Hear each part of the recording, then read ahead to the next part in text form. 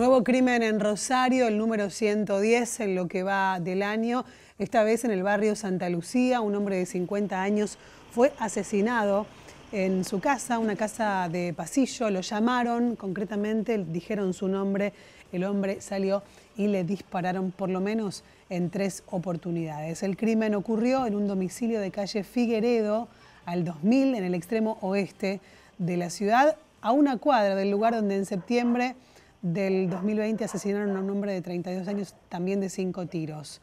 Estaba en su casa, como decíamos, lo llamaron por su nombre, salió y le dispararon sin mediar palabra.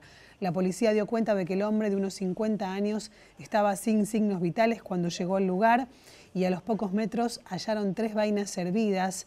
Los vecinos comentaron que la víctima vivía en la casa junto a su hijo. En el lugar hubo ayer por la tarde, tarde-noche, un gran despliegue policial.